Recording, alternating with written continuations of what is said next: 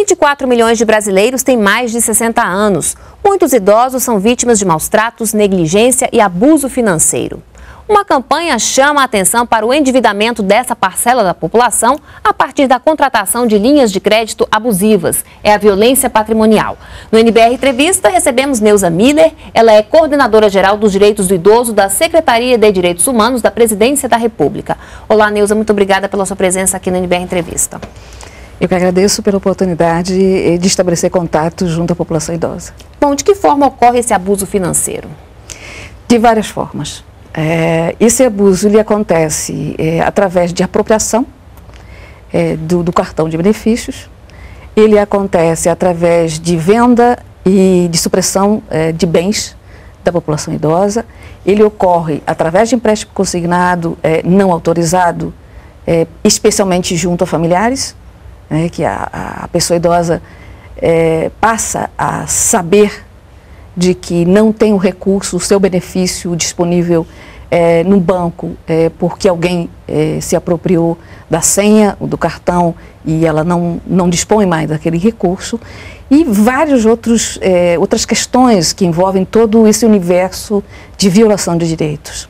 E quem são as pessoas responsáveis, né, pela prática desse tipo de violência? São familiares, são os filhos, enfim. O que, que as queixas que chegam até vocês demonstram? é, nos pautamos através das denúncias do Disque 100 da Secretaria de Direitos Humanos.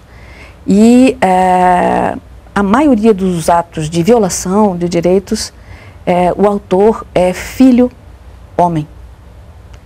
É, e filhas também, noras e netos. O público que mais acessa o crédito consignado são aposentados e pensionistas. Nesse caso, o que, pode ser feito para coibir abuso? Bom, o, o, empréstimo consignado, ele foi criado é, indo ao encontro de um desejo da população idosa, de uma necessidade. É, ocorre que é, nós temos hoje uma série de agentes que violam, inclusive, essa questão. A forma como eles chegam na pessoa idosa para convencê-la é, de que é, é importante, é bom fazer o empréstimo e ela pode, mesmo quando ela não pode. Né? Nós temos é, um limite. Esse limite é de 20% do salário, é, podendo chegar a 30% para alguns casos, ou é, quando se faz uma análise mais, é, mais detida é, da capacidade que a pessoa tem é, de, de prestar contas, né, de dar conta é, dos seus compromissos. E o que nós temos são agentes né, de financiadoras e os, as próprias instituições bancárias que acabam é, favorecendo movimentos bancários é, que endividam a pessoa idosa.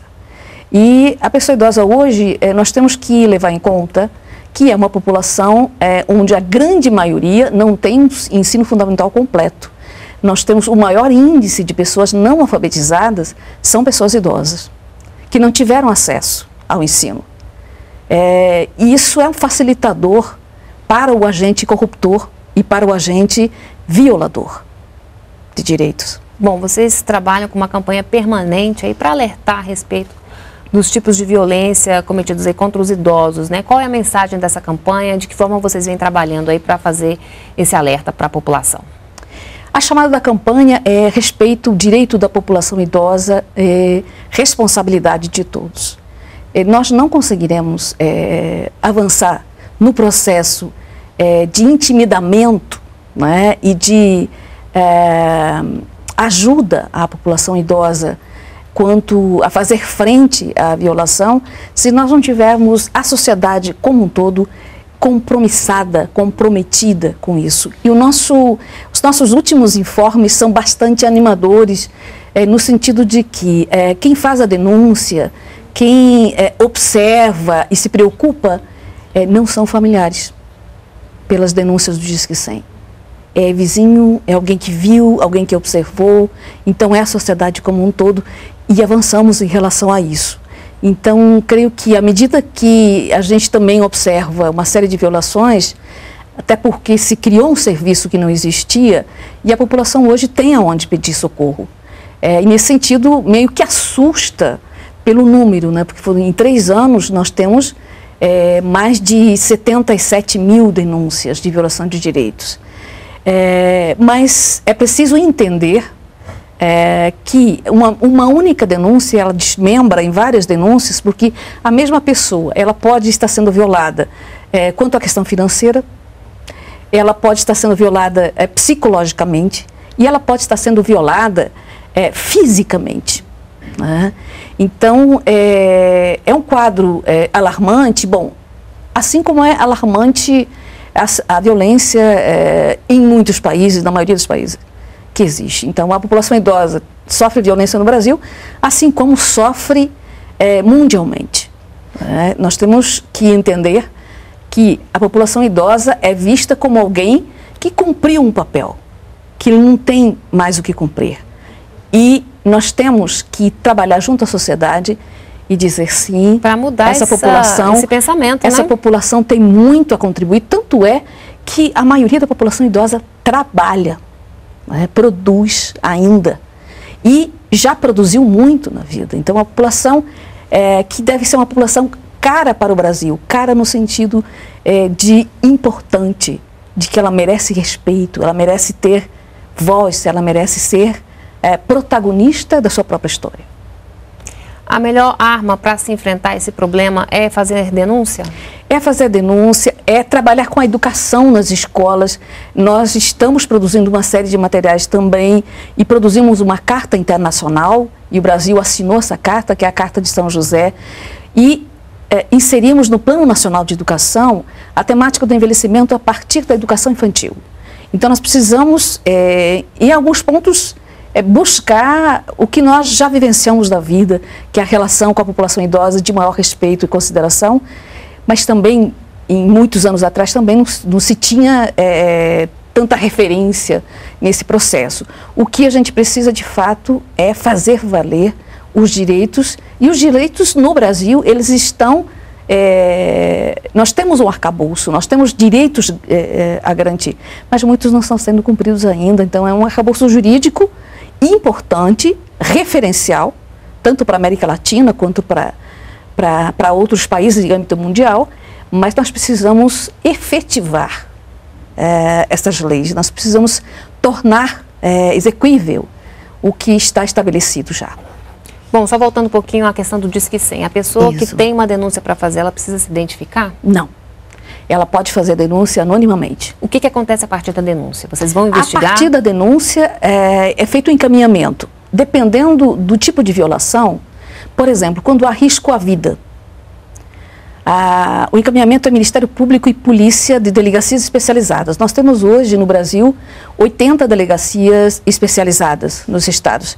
Onde não há delegacia especializada, é possível fazer a denúncia na Polícia Civil, ou seja, na delegacia civil mais próxima. Então, Ministério Público, Delegacia Civil. Em eh, outros momentos, também é informado o Conselho de Direitos. Nós temos hoje, eh, em âmbito nacional, 2.790 conselhos em âmbito nacional. Então, eles monitoram, eles não, não, não apuram a denúncia, eles monitoram esse processo.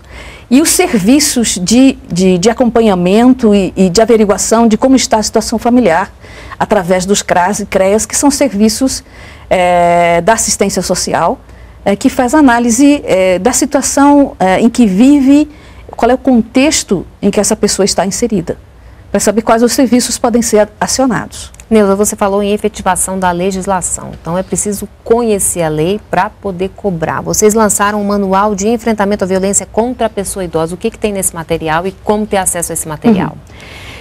Uhum. É, o manual ele foi criado é, a partir da averiguação de que uma grande parte da população idosa e da população em geral não tem conhecimento é, dos direitos e não tem conhecimento dos tipos de violações e de como enfrentar essas violações. Então, o manual ele traz as estratégias de enfrentamento o que fazer, como prevenir. Bom, há também o Compromisso Nacional para o Envelhecimento Ativo, que foi assinado no ano de 2013. Em que estágio que está essa iniciativa? Bom, o compromisso, é, ele foi criado para que é, se estabelecesse uma relação mais aproximada e mais visível entre governo federal, estados e municípios. Né? São 17 ministérios que tem ações para a população idosa. Muitas dessas ações são ainda desconhecidas por municípios, que podem reivindicar recursos, podem reivindicar é, ações de monitoramento, de acompanhamento é, e de busca de referenciais. É, nós, nos primeiros seis meses, concluímos o monitoramento dessas ações, de como elas estão, de que, em que momento elas estão da execução delas. Né? Fizemos, construímos um guia para que possa ser remetido aos estados e municípios. concomitantemente, nós encaminhamos para os estados o termo de adesão ao Compromisso Nacional de Envelhecimento Ativo. Então, em 2014, é, todos os estados deverão aderir a esse termo. Foi encaminhado, né, está sendo assinado pelos estados e este ano, então, de 2014, o nosso objetivo é fazer com que todos os estados adiram. Né? Em 2015 serão os municípios. Então, mapeamos as ações, sistematizamos essas ações para que todo o país tenha conhecimento de quais são, né, e são muitas. Né, nós temos muitas ações com 17 ministérios atuando, é, e é, vamos sistematizá-las e acessá-las, aproximá-las da população como um todo, especialmente dos agentes públicos é, que têm a responsabilidade de executá-las. Bom, o governo federal está agindo, estados e municípios também, e a população? De que forma que a população pode contribuir? Fazendo a denúncia?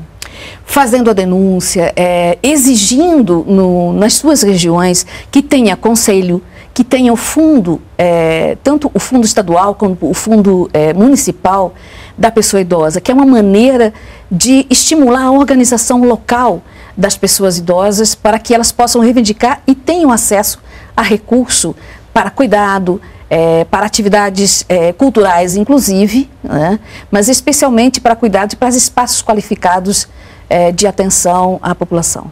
Tá certo, Neuza, muito obrigada pela sua participação aqui no NBR Entrevista. A gente que agradece e estamos sempre disponíveis. Obrigada mais uma vez. Outras informações na página da Secretaria de Direitos Humanos da Presidência da República. E para rever essa entrevista, é só acessar o endereço que aparece agora aí na sua tela. Muito obrigada pela companhia e a gente se vê no próximo programa. Continue aqui na NBR, a TV do Governo Federal.